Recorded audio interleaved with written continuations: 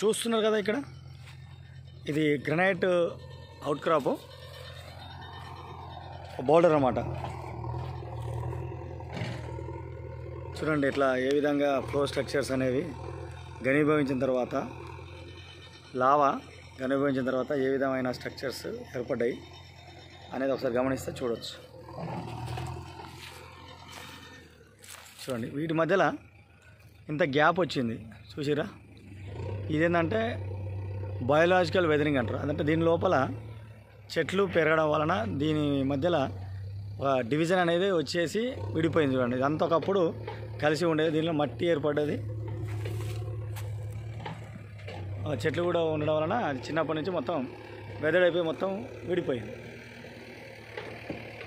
So ఈ విధంగా దీనిలో ఉన్న ఒరిజినల్ స్ట్రక్చర్ అంతా మొత్తం చేంజ్ అయిపోయి వెదరింగ్ జరిగి మొత్తం ఇది మట్టిలో మట్టిలాగా మారిపోతుంది అనమాట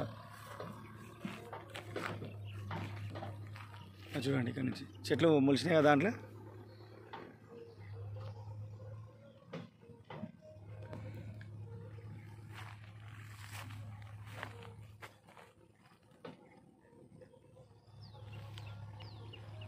దీన్నే బయలాజికల్ వెదరింగ్గా చెప్పొచ్చు. ఇదంతా వెదరింగ్లో ఒక భాగం అనమాట temperature pressure chemical active fluids జరగడం వలన ఈ రకమైన వెదరింగ్ జరిగి మొక్కల వలన అట్లా ఇండివిజువల్గా విడిపోతుంది. దీన్నే బయలాజికల్ వెదరింగ్ అని అంటాము. చూసారు కదా?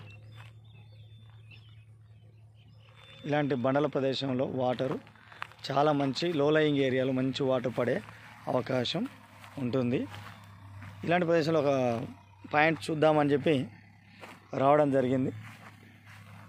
ఒకసారి చూడండి ఈ ఫీల్డ్ విషయాలు ఏ విధంగా ఉంటాయి ఫీల్డ్ లోపల ఏ విధంగా మేము తిరుగుతూ ఉంటాము.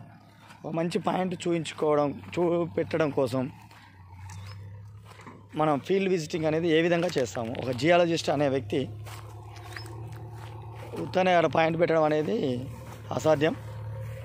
ఫీల్డ్ విజిటింగ్ అనేది చేయాలి. చేసినప్పుడు మాత్రమే మనకు ఒక మంచి పాయింట్ అనేది చూడండి వీళ్ళంతా. ఆ బౌలర్స్ అయితే ఉన్నాయో ఆయన ఒక గుంత తీసి గొయ్యి తీసి గొయ్యిలో పాతి పెట్టి తినే తీసిన మట్టి అంతా మళ్ళా లెవెలింగ్ చేసి ఒక మడి మడికట్లాగా తయారు చేస్తాడు. చూడండి ఎంత మంచి సాయిల్ ఉంది. ఎర్రనేల ఒక మంచి ఏప చెట్టును కట్ చేసిండు చూడండి. ఇదే వచ్చింది. మొక్కలు పెట్టరు ఆయన అంటే మొక్కలు పెట్టరు కానీ ఉన్న చెట్లన్నీ తీసేస్తారు.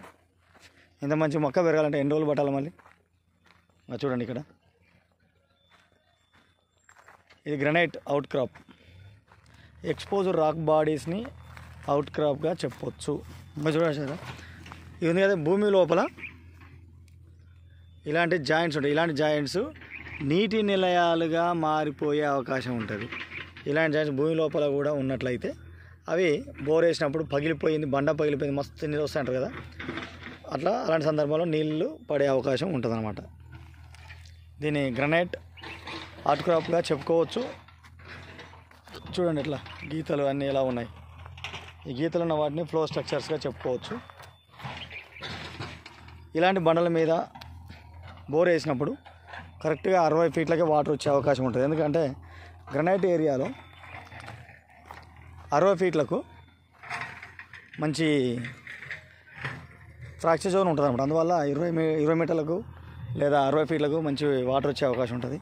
తర్వాత దాటిన తర్వాత ఎలాంటి జాయింట్స్ కానీ ఫ్రాక్చర్స్ కానీ ఫ్రాక్చర్స్ కానీ లేనట్లయితే వాటర్ అనేవి రావు.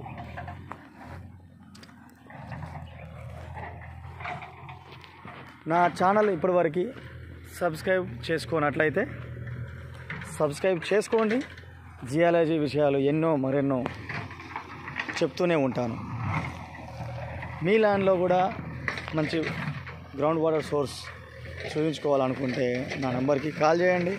నా నెంబర్ మీకు తెలుసు కదా seven six five nine zero nine five four three zero. చూడండి అక్కడ కొంగలు ఉన్నాయి ఎంత బాగున్నాయి. బాగున్నాయి కదా? ఇక్కడ చూసిన చూడండి.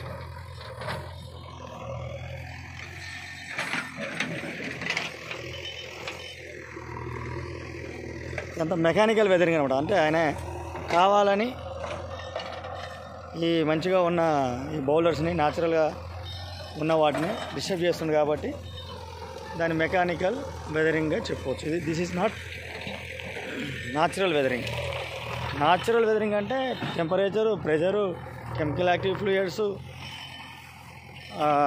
వాటి వలన జరిగేది టెంపరేచర్ కండిషన్స్ పెరగడం వల్ల కావచ్చు పీడనం పెరగడం వల్ల వలన కావచ్చు టెక్టానిక్ డిస్టర్బెన్స్ జరగడం వలన కావచ్చు న్యాచురల్ ఏజెన్సీస్ అయితే ఏమవుతున్నాయో నీరు గాలి పవనాలు గురుత్వాకర్షణ శక్తి. వాటి వలన నీటి ప్రవాహం వలన జరిగే వెదరింగ్ని మనం సహజ సిద్ధమైన వెదరింగ్గా చెప్పుకోవచ్చు. For more videos please subscribe my channel thank you thank you so much